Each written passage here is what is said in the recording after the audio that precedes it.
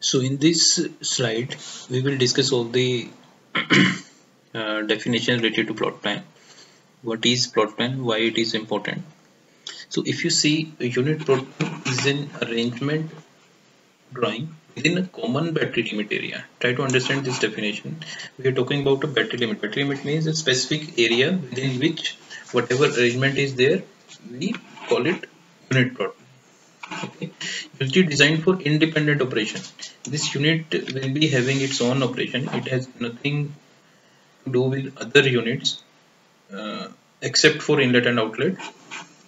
It has its own independent shutdown. If we go for a shutdown of a unit it has no impact on other units. So that kind of arrangement is called unit plot plan. It highlights the equipment and supporting facilities uh, sub pipe rack or building etc this so everything which is within a common battery limit is called a unit plan. This is just a general definition. So equipments are arranged in a logical process flow sequence. Okay, we have to understand the process flow sequence uh, through PFDs or P&IDs, whatever we have with us. We need to understand that sequence, then only we can arrange the uh, equipments. So the purpose of locating these logical uh, arrangement is to reduce piping and pumping cost. This is the main uh, purpose. So this is all the more important when the piping involved is of stainless and alloy steels. So when there is a stainless and alloy steel is involved, the cost will be more. So that time we need to be very careful while understanding the logical process sequence. So once logical sequence is understood, then only we can reduce the piping. So we divide this unit definition into two parts on-site or off-site okay? So on-site means a process unit off-site covers all other facilities of the plant. Off-site facilities are interconnected by fairly large yard piping which run on pipe rack or sleepers. There are pipe rack and sleepers in unit also but those are very small and within the battery limit only so the location and routing of the most economical pipeline and sleeper covers major part of the offsite layout. Equipment and structure shall be so arranged to permit access to crane, monorail, davit, platform, ladders to service equipment such as compressor, exchanger, etc. So we need to arrange all these equipment in such a manner so that crane can go inside and perform the maintenance activities whenever it is required. Okay, so all these vessels will go into detail when we cover individual section. For example when we do the compressor uh, piping system we'll discuss these things in detail.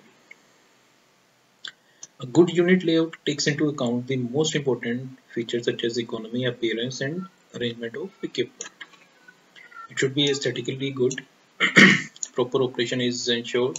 Maintenance facilities safety consideration ease of construction. These all we need to take care when we develop a unit plan basically economically economy means installing a unit in a smallest possible space. If you see the smallest possible space means we have to use minimum real estate. Real estate is having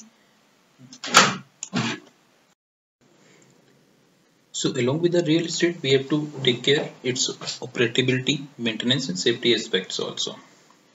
So this is all about the general uh, things related to plot plan definition of plot plan and uh, types of plot plan.